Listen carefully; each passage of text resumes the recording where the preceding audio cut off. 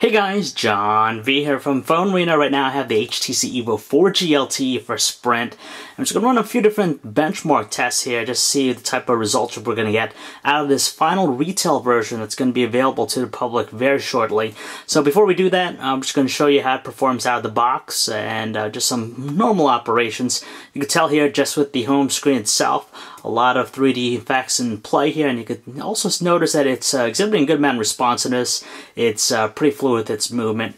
Other things, opening up the app panel, scrolling between the applications here, you could see it's tracking my finger relatively instantaneously, and it exhibits still some of those great, you know, 3D effects. Barely any hitch with that. So let's uh, let's up the ante here. Let's uh, do something a little bit more processor intensive, just to test it out, see how it fares with uh, other operations here. Actually, let's go to all, and let's just change it to some sort of live wallpaper. So let's select this guy. And let's select the, let's do this one here. See the lava flow. Lava flow seems to be a little bit, a little bit up there. So let's select that guy. And so you can see it's running in the background right now there. Loading up the widgets. And here we go. And again, still really quick, instantaneous. Opening up the app panel. And there we are. Still has a great amount of responsiveness. So definitely like it. Seems like a fast handset out of the box. So not going to have any issues with any slowdown or lag. So let's bring this back to a regular wallpaper here. And we'll run just the first test. And that's going to be a quadrant. So let's wait for this guy here. Okay, so let's get started. Quadrant. Let's load that guy up. And here we go. I'm going to run this guy. Now, we've already ran it several times, and it seems to be really good. Uh, definitely, in some cases, uh, hits over 5,000, a little bit over 5,000. Um, definitely, sometimes uh, it gets down to 49, 4900 range, but for the most part, really good scores, and we'll see that here as it uh, wraps up um, doing these operations right now. And we'll see the graphical components of this test here. See if we can zoom in here. You can see that it's doing that one there, 58 frames per second. This one here, 58 frames per second as well, so relatively smooth from what we could what we notice here. And here we go with the next one.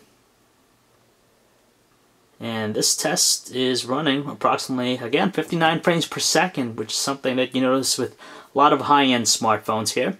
And the last one, 30 frame, 37 frames per second. So that one there a lot, lot slower than the rest. But let's see what what result, what the uh, total number here is. And it's going to give it this time a score of 4905, as we said, uh, you know, between 4900, a little bit under 5100, as we tested out several times. So it's still very respectable, beating out some other previous handsets out there. For example, you notice the Galaxy Nexus is right there below it, same thing as the Galaxy Tab, and again the Samsung Nexus below that. So let's let's show you the uh, results we've gotten with the Antutu benchmark test, just because it uh, takes quite a long time for it to load up here. And total score is 7,015. That's total score uh, with the Antutu. If we put that in the score map here, and compare it to some of its some of its competitions, rivals, and you can notice 7,015. No, not quite as as uh, magnificent as the Asus Transformer Prime with its quad-core processor, but still a respectable number, beating out devices like the Galaxy Note, Galaxy S2, LG Optimus 2X, and so forth. So it's still really nice score. And the last test here we're going to show you here is just NenaMark II, a little bit more of a graphical component, a graphical test here.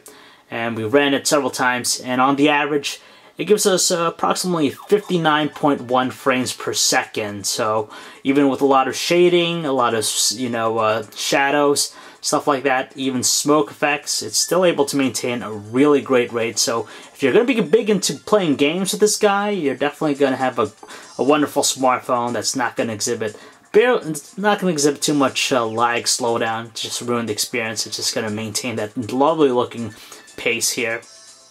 Let's see what it gives it this time. 59 point of 59 frames per second, so still a really good mark here.